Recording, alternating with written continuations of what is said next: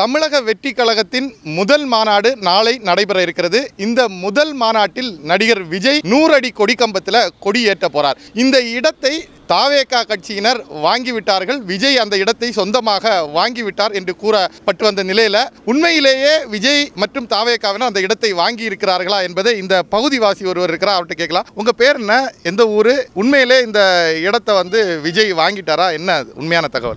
வாங்கலாம் இல்லை.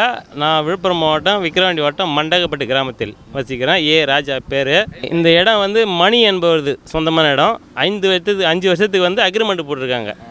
அது கொடிக்கம் பணம் ஏற்ற ஏற்றப்படணும் ஆனால் சப்போஸ் வேறு யாருன்னா மாநில மாநாடு நடத்துறதுக்கோ மீட்டிங் நடத்துறதுக்கோ அந்த டைம் மட்டும் கொடியை மட்டும் இறக்கிடணும். கம்பம் அப்படியே தான் இருக்கும். அஞ்சு வருஷத்துக்கு அக்ரிமெண்ட் போட்டிருக்காங்க. அஞ்சு வருஷத்துக்கு அப்படின்னு சொல்றீங்க இல்லையா? இப்போ வந்து இன்னைக்கு கொடி ஏத்துறாங்க. கொடி ஏத்துனதுக்கு அப்புறம் இந்த இடத்துல வந்து வேற யாராவது வர முடியுமா? இல்ல தாவேக்காயினர் மட்டும்தான் இருப்பாங்களா? இல்ல வேற யார் யார் இதுல வந்து வந்து போக முடியும் அப்படின்னு அந்த கட்சி நிர்வாகிக்கு மட்டும்தான். அந்த ஒன்றரை ஏக்கர் அளவில் பரப்பளவில் அவங்களுக்கு மட்டும் ஒதுக்கிறாங்க. அஞ்சு வருஷத்துக்கு எதுவும் பயிர் வைக்கக்கூடாது எதுவும் பண்ணக்கூடாது. அதுக்கு அந்த பேமெண்ட் கொடுத்துருக்காங்க.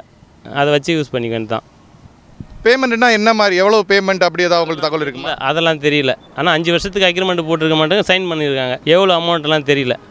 அக்ரிமெண்ட்ல என்னென்ன சொல்லியிருக்காங்கன்னு ஏதாவது உங்களுக்கு தெரியுமா? அதான் சப்போஸ் வேறு ஆளுங்க இங்கே ஒரு கட்சி மாநாடு நடத்துகிறாங்க ஒரு மீட்டிங் நடத்துகிறாங்க அந்த டைமில் மட்டும் கொடி காம முடியாதுன்னா கொடியை மட்டும் இறக்கி விட்டுறணும். விவசாயிகிட்டும் சொல்லியிருக்காங்க கட்சி நிர்வாகிகிட்டும் சொல்லியிருக்காங்க.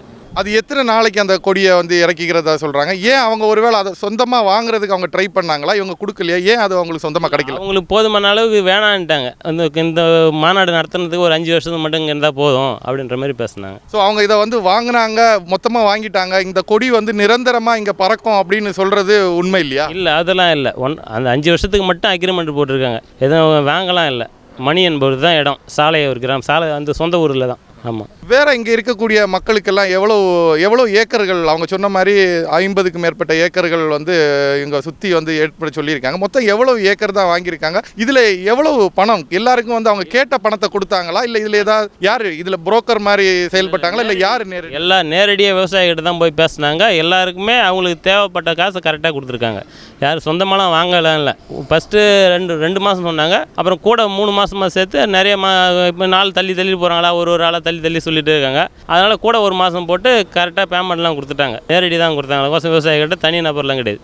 புரோக்கர் மூலியமாலாம் கிடையாது. புரோக்கர் மூலியமாக இல்லை. அவங்களே நேரடியாக பேசுனாங்க.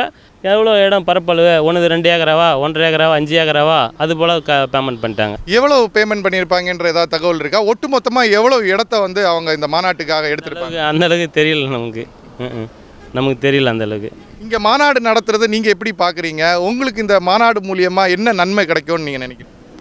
இன்னும் எப்படி சொல்கிறதுன்னு தெரியலையே. இல்லை இப்போ புதுசாக ஆரம்பிக்கிறாரு. ஆரம்பித்தா கொஞ்சம் நல்லா இருக்குன்ட்டு மக்கள் எதிர்பார்க்குறாங்க. அதே போல் முதியோர்கள் என்ஜாய் பண்ண மாட்டாங்க இளைஞர் போகிற பேரும் ஒன்று திரண்டுவாங்கன்னு நினைக்கிறேன். அதனால் கொஞ்சம் நல்லா இருக்கும். இங்கே வர்றதுக்கு இங்கே உங்கள் ஊரில் வந்து இப்படி ஒரு மாநாடு நடக்க போது லட்சக்கணக்கான பேர் வர்றாங்கன்னு சொல்கிறாங்க அதுக்கான ஏற்பாடெல்லாம் முழுமையாக பண்ணியிருக்கிறதா நீங்கள் நம்புறீங்களா? ம் ஏற்பாடெல்லாம் நல்லா விமர்சையாக பண்ணியிருக்காங்க. அதனால் வந்து இருக்கிறவங்களுக்கு பிடிக்கலையான இடையூறு கொடுக்குறாங்களான்னு தெரில ஆனால் நல்லா பண்ணியிருக்காங்க. இது வரைக்கும் பார்க்கல அதுமாரி நல்லா பண்ணியிருக்காங்க. தகவல் பரம்பரை நன்றிங்க.